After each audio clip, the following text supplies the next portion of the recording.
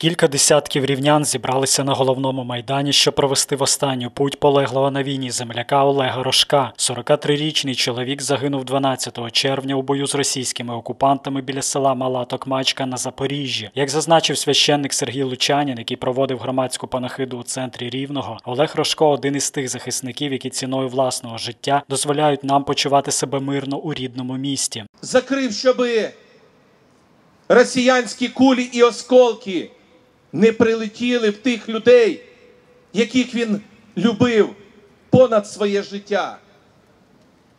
Бо якби він любив своє тільки життя і для себе жив,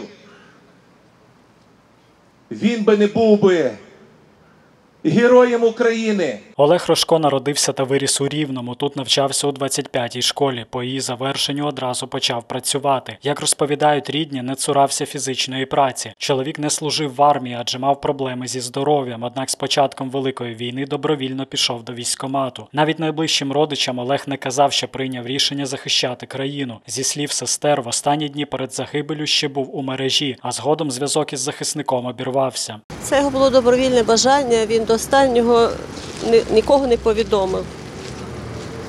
Ми, по суті, не знали. Він був працьовитий хлопець, він не, не цурався ніякої роботи. Він не, не, завчи, не, закінчував, він вийшов, він відразу працював. добрий, спокійний, щирий. З перших днів пішов на захищати. Поховали Олега Рожка, як і сотні інших рівненських бійців, які віддали своє життя за вільну та незалежну Україну на алеї героїв кладовища Нове. Вічна та світла пам'ять українському захиснику. Микола Брашицький, Олексій Олексієнко. Випуск новин.